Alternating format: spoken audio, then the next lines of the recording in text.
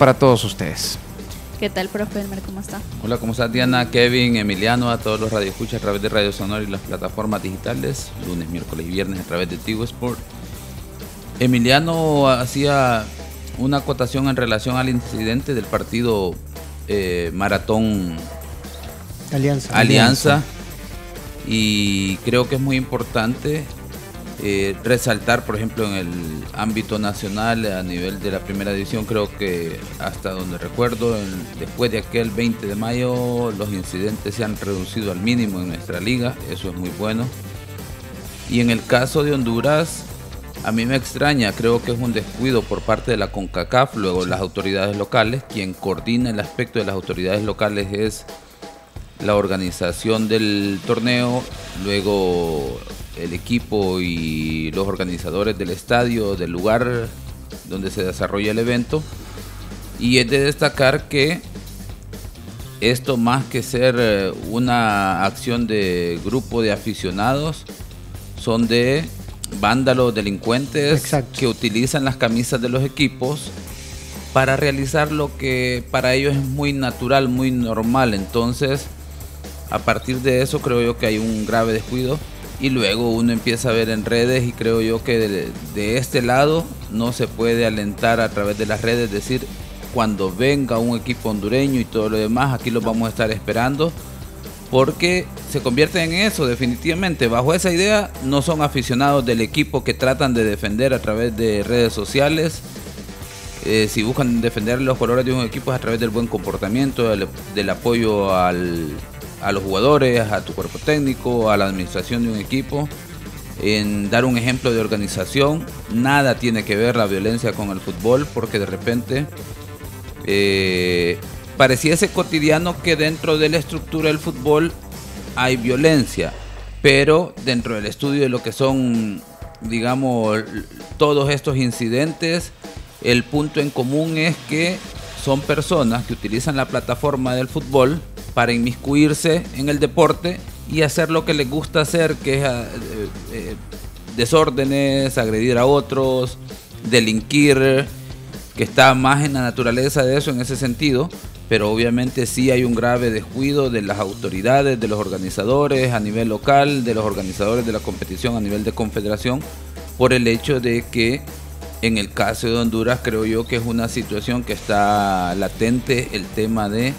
los choques entre, llamémosle, eh, eh, personas que utilizan las camisas de los equipos para enfrentarse, que ocupan la excusa del fútbol para realizar todas estas situaciones y ya está registrado si no veamos aquella, aquel cuarto de final que termina eliminado Alianza frente a Olimpia en Honduras que termina hasta con bengalas en el terreno de juego. Eh, ese, día, ese, día, fue una vergüenza. y a partir para acá todavía hay muchos incidentes en Honduras que creo yo que no es lo normal para los hondureños y no va contra los hondureños, sino que ese grupo reducido de personas que utilizan las camisas de los equipos para delinquir, para hacer sus fechorías, definitivamente creo yo que es de ponerle mucha atención.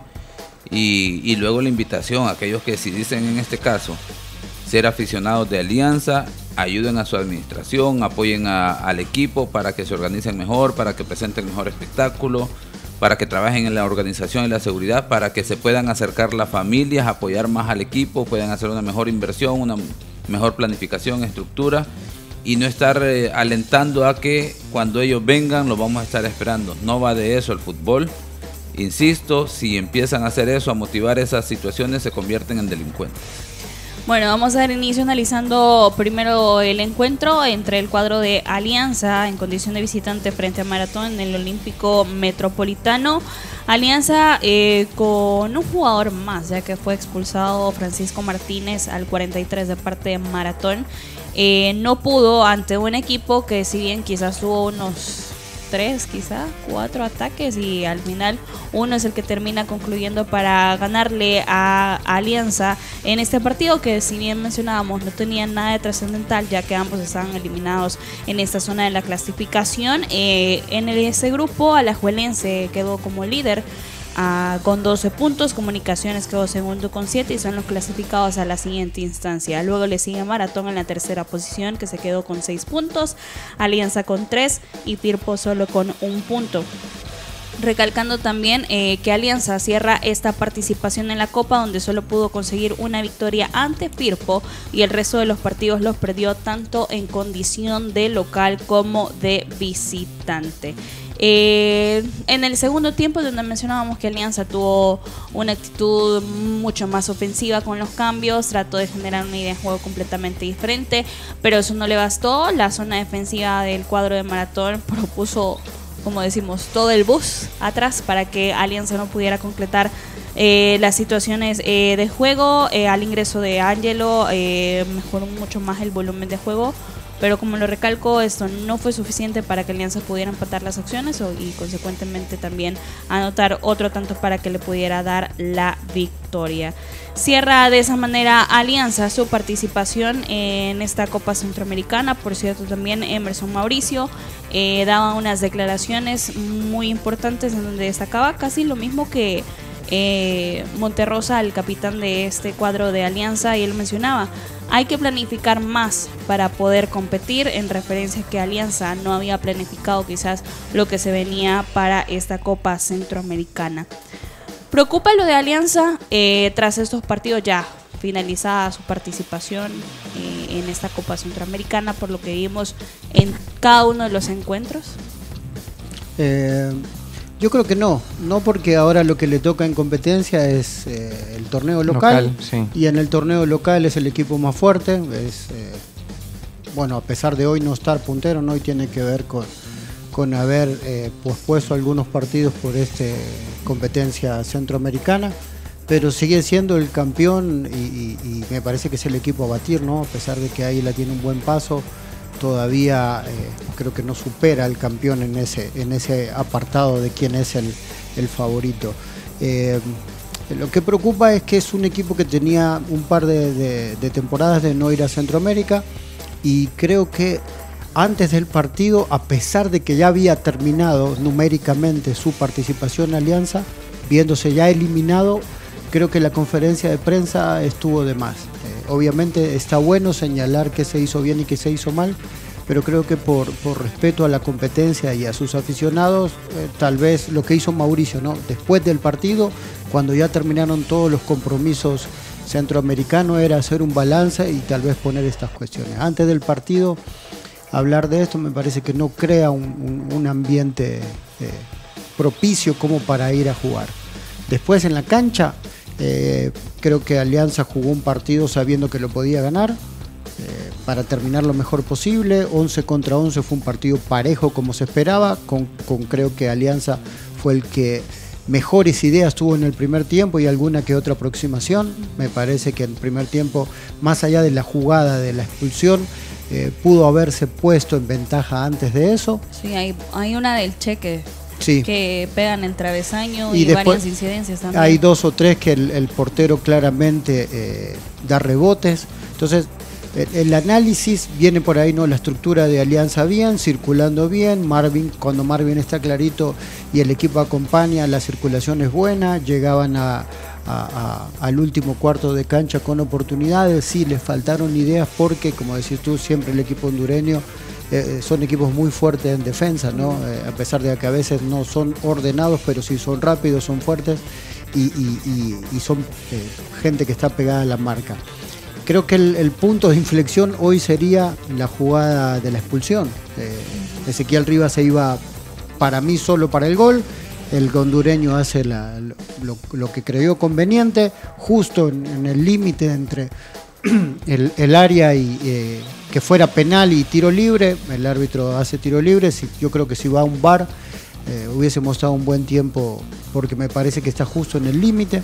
Y después, ¿por qué digo que es el punto de inflexión? Porque creo que toman la primera mala decisión Alianza, que es eh, tratar de tirar el tiro libre como los tira Leo, tocadita por encima de la barrera. ¿no? Cuando uno tiene una barrera así e intenta hacer eh, lo que hace Messi como algo normal, uno tiene un 90% de posibilidad de que la pelota pegue en la barrera o se vaya por encima del palo. Vos tenés a un portero hondureño que ya lo habías probado tres veces y ninguna de las tres veces eh, amarró la pelota, las tres dio rebote. Entonces, te ponen la barrera eh, tapando un palo y en la otra está parado el, portero, pegale fuerte al portero que lo más seguro es que te dé rebote y te da o te da rebote para adentro o te da un rebote para afuera dándote una segunda opción de gol, ¿no? Entonces, eh, creo que ahí toma la primera mala decisión. era, era un buen momento como para hacer la diferencia, ah, te vas al descanso un gol arriba, con el equipo rival, con los problemas que te puede dar tener un hombre menos y después aparte viéndose los dos equipos ya eh, eliminados de la Copa. Después de ahí, eh, la gente, obviamente el responsable del equipo y de sus cambios y todo lo demás, el Sarco Rodríguez, que es la cabeza del cuerpo técnico, empieza a hacer cambios ofensivos viendo que tienen eh, un hombre más adelante. Pero el cambio de Alejandro Enríquez, bueno, de Iván Mancilla por Alejandro Enríquez, ¿fue correcto, profe? Hacer la línea de tres es una lectura del entrenador. Eh, obviamente nosotros tenemos una postura. ¿no? Sí, una y lo que pasa es que si te sobra uno atrás, ¿no? Ellos atacándote claramente solo con, el 9 que termina haciendo el gol con Tejada, Tejeda, eh, te, sobrarían dos centrales, o por lo menos te sobrarían tres defensores en este caso. Eh, metió línea de tres, después tiene la, mala suerte de que uno, el central por izquierda, se le lesiona de la espalda, eh, Diego Chévez, y ahí tiene que modificar poniendo por la izquierda un jugador que no es ni extremo ni lateral. Entonces creo que, ahí no está la diferencia. Tal vez uno lo que hubiese hecho es intercambiar roles, eh, porque, ¿por qué digo intercambiar roles? Porque hace jugar a Cabrita Portillo más adelantado ¿no? Sí. Y hace jugar a el, uruguayo, ¿cómo se llama el colocho? Sosa. A Sosa lo hace jugar más atrás. Cuando Alianza, después del gol en contra, elige empezar a tirar centros al área, ¿no? Y que ahí el equipo hondureño se vio muchísimo mejor porque lo único que tuvo que hacer es preocuparse en despejar. Alianza tuvo poca idea. Entonces en ese aspecto Cabrita tiene más recorrido y creo que tenía piernas más frescas y en el caso de Sosa tiene más altura como para por lo menos ser un distractor para los defensores hondureños. Eh, creo que ahí empezaron, ¿no? Eh, tal vez los jugadores no entraron de la mejor forma y si vos me terminás metiendo a Hernández, a Machito, a eh, Angelo, que son todos jugadores chiquitos y rápidos, y empezás a tirar centro al área, para encima eh, eh, Mauricio, que no mide un metro noventa, sino que mide un metro setenta y cinco normalito. Es muy buen cabeceador siempre y cuando tenga tiempo y espacio. Y estaba rodeado por lo menos siempre de dos centrales. Entonces, el camino era por abajo y Alianza no intentó por abajo. El intentar por abajo eh, podía haber provocado que el juego fuese más áspero, ¿no? Pero ganás falta cerca del área, tenés tiros libres, tenés buenos tiradores, te das cuenta que cada vez que tirás un centro al área lo, la perdés siempre y encima ni siquiera ganás la segunda pelota. Entonces creo que en ese aspecto, eh, siempre decimos arco porque es el entrenador, pero a mí me parece que a los referentes adentro de la cancha eh, no tuvieron lectura de un partido.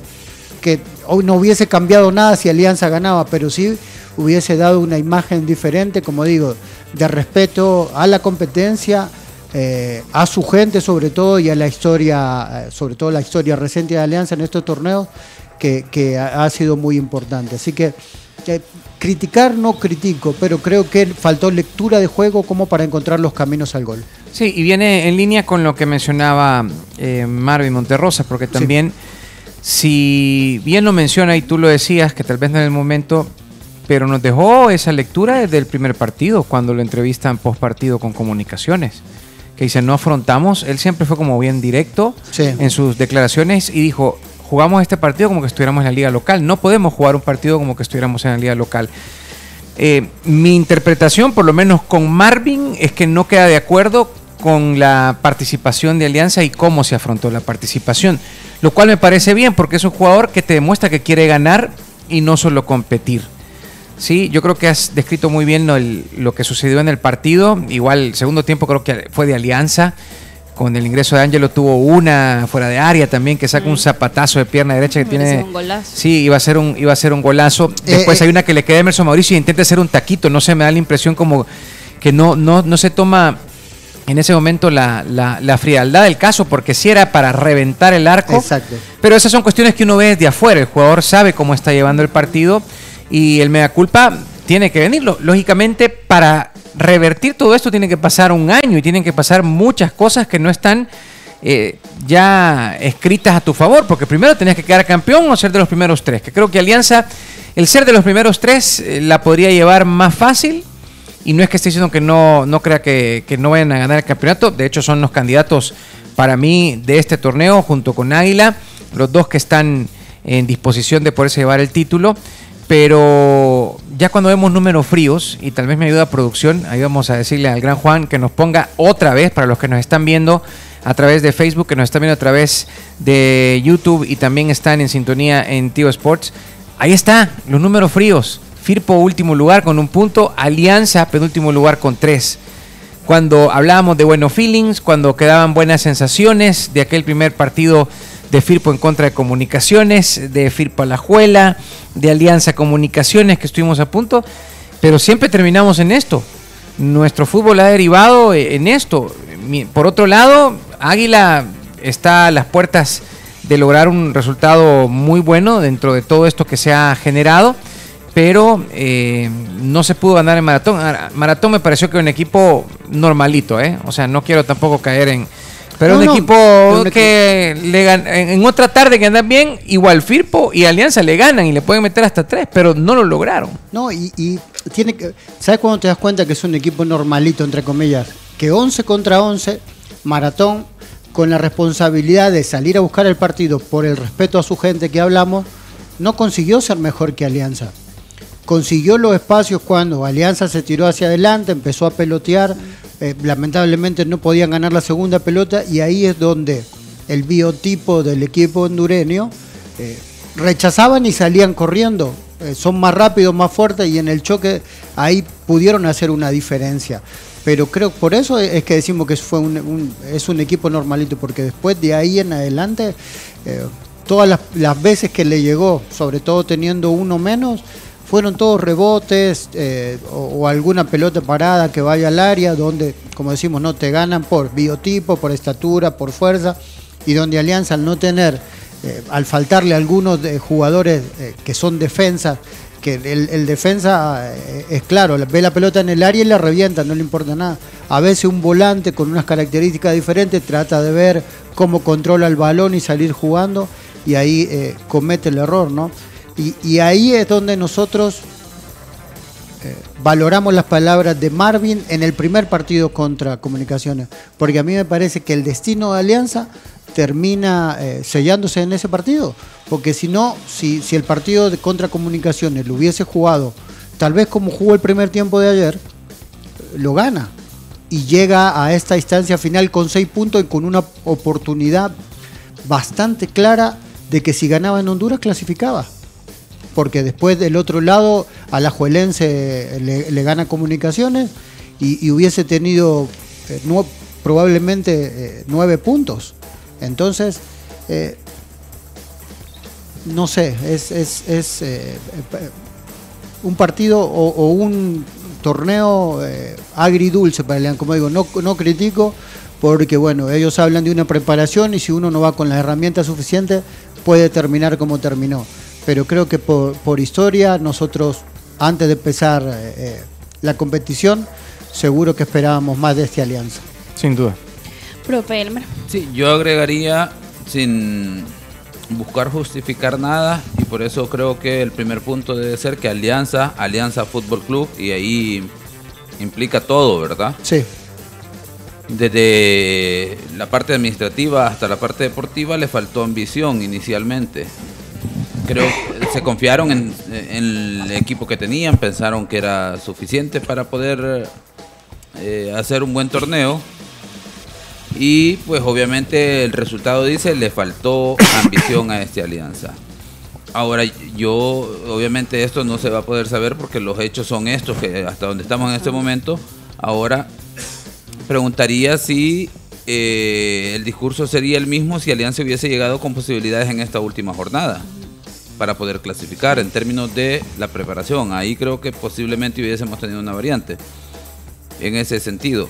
que no quite el aspecto de que al final que los jugadores que lo sienten, el cuerpo técnico que lo trabaja, eh, digan, bueno, si nos hubiéramos preparado un poco mejor, si hubiésemos apuntalado los refuerzos, hubiéramos sido ambiciosos invertir en algunos aspectos en específico, posiblemente estaríamos bajo otro escenario definitivamente.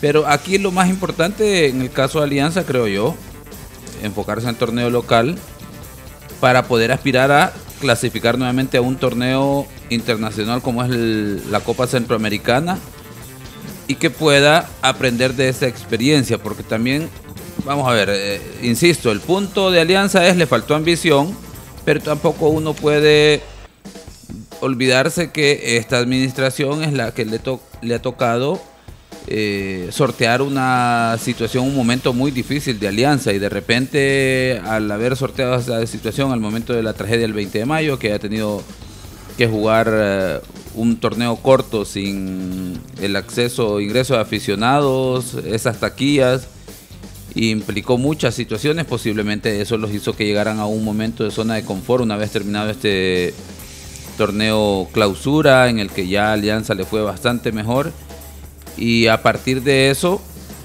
creo yo que se terminan confiando, ¿verdad? Después de haber pasado una situación difícil, eh, encontrar un buen torneo, el equipo clasificado y pensaron que les podía bastar, pero insisto, le faltó ambición y al final lo más importante es que sepan capitalizar esta experiencia, decir, bueno, eso es lo que le ha pasado a Alianza, qué es lo que tenemos que hacer para que Alianza vuelva a estar a un nivel que le pueda eh, ir a, jugar mejor a comunicaciones y que le pueda ganar, que le pueda hacer frente a, un equipo como la Liga Deportiva Alajuelense, no solo en el término de fútbol, sino en el resultado, porque al final, en el caso de Maratón, eh, más allá de cualquier situación, es que logró dos victorias, punto. Eh, aunque sea en el de Firpo con el gol a último minuto, en el de Alianza al minuto 65, en una jugada eh, nada más de llegada cuando el equipo no había llegado, pero termina ganando y al final eso es lo que cuenta en este caso para el maratón, que dirán, bueno, al menos no, no quedamos en último y penúltimo, ¿verdad? En ese sentido. Así que por ahí creo que va la cosa el caso de Alianza, que sí sepa capitalizar esta experiencia. Y bueno, tanto Alianza Firpo tendrán un compromiso que creo que todos los aficionados de, ambos equipos estarán más pendientes del rendimiento de estos equipos en el torneo local. me imagino que van a querer ver un equipo con esa ambición en el campo deportivo. Vamos a hacer eh, la primera pausa. Antes, unos saludos. Dice Guadalupe.